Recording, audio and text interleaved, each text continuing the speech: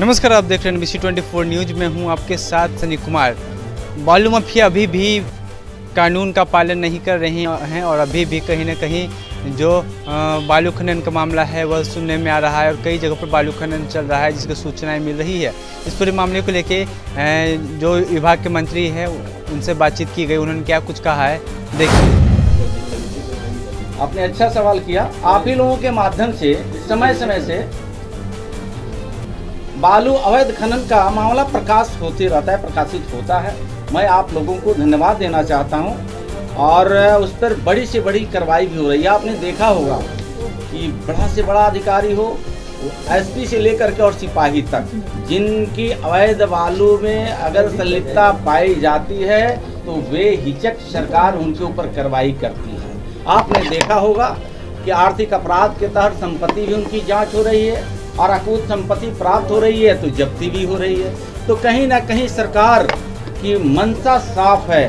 जिन लोगों ने ये बालू में अवैध कारोबार से जुड़े हुए हैं साफ़ संकेत है कि अगर उनमें सुधार नहीं होगा तो प्रशासन समय समय से छापामारी करके उनके ट्रैक्टर हो ट्रक हो हाईवा हो जेसीबी हो वो जब्ती करती है एफआईआर करती है नीलाम करने का प्रबंध कर दिया गया है और उससे कमाई हुए संपत्ति को भी सरकार जब्त कर लेकिन सवाल यह है कि कार्रवाई के बावजूद भी खनन जारी है। मुझे लगता है कि कानून का आपने कहा और उसका जवाब भी हमने दिया। अगर ऐसे खनन कर रहे हैं लोग जिसको आप अवैध कहते हैं तो सरकार तो बैठी नहीं। है लगातार थाना प्रभारी अंचलाधिकारी जिला के डीएम, जिला के एसपी कार्रवाई कर रहे हैं और मुझे लगता है कि बड़ी से बड़ी कार्रवाई हो रही है। और आपकी नज़र में कहीं फिर ऐसे देखने को मिलता है तो उजागर करते रहिए, सरकार उस पर कार्रवाई करेगी। सर, बालू माफियाओं में डर नहीं बैठ रहा है। कार्रवाई तो हो रही है, सर। डर नहीं बैठ रहा है बालू माफियाओं में। मुझे लगता है कि डर तो बैठा हुआ है। आप कह रहे हैं ना, डर तो वो बैठा है कि रात में वो लोग सपना देख रहे हैं। ये पहली बार इतनी बड़ी कार्रवाई हो रही है कि उनकी चिंता है कि अब अवैध खनन हम कर नहीं पा रहे हैं। अवैध खनन करने पे सरकार कड़ी से कड़ी अंकुश लगाई है और मुझे लगता है कि उनके अंदर ये डर दहशत है।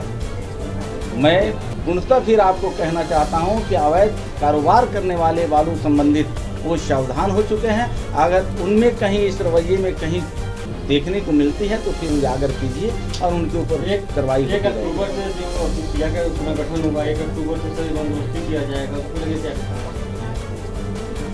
सरकार की स्तर से संदेश है।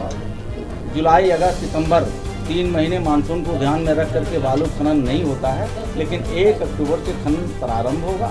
सुगम तरीके से और सरकारी दर पे आम लोगों को बालू मुहैया हो, इसके लिए सरकार चिंतित है और मुझे लगता है कि एक तारीख से पूर्णतः बालू खनन प्रारंभ हो जाएगा। तो आपने देखा साफ़ तौर पे जो विभाग के मंत्री जनक राय में साफ़ तौर पे बता रहे हैं कि जो बालू खनन करते हुए लोग हैं, उनके ऊपर कड़ी कार्रवाई की जा रही है और इस बार बड़े से बड़े लोग जो हैं, इस पूरे मामले में नप रहे हैं। ऐसे में जो बालू माफिया उनके अंदर डर है कि अब वो गलत तरीके से बालू खनन नहीं कर पाएँगे। और भी क्या कुछ कहा आपने साफ़ तौर पर सुना। तो आप ऐसी खबरों के लिए बने रहें ट्वेंटी न्यूज़ के साथ। फ़िलहाल के लिए इतना ही। धन्यवाद।